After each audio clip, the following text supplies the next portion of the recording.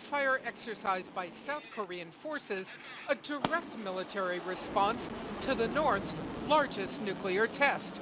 Army and Air Forces simulating an attack on North Korea's nuclear test site. Even as North Korean state media issued new threats to the U.S., including Guam, one editorial saying, every time the U.S. goes crazy talking about sanctions and war, our will of vengeance will become hundred and thousand times stronger. UN Ambassador Nikki Haley very much in the hardline mode back at Kim.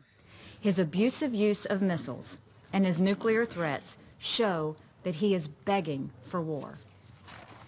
War is never something the United States wants. We don't want it now.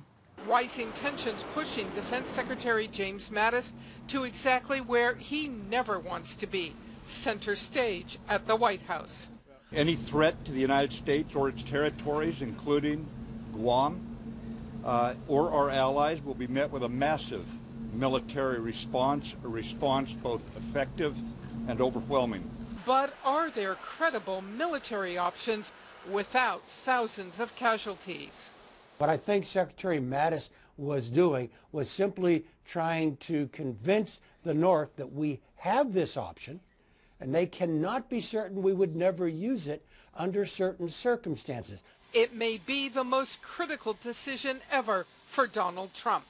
How much of a price we are willing to pay, how much we are willing to bleed uh, to accomplish our objectives. This is a decision uh, not for military members. This is a decision for elected uh, political leaders to make. And they always have to weigh uh, the cost versus the benefit. Short of U.S. attack, the Pentagon could send an aircraft carrier offshore. The Ronald Reagan is nearby. More bombers could be sent. South Korea and Japan both upping their missile defenses and cooperation with the U.S. But there is no indication Kim Jong-un is listening.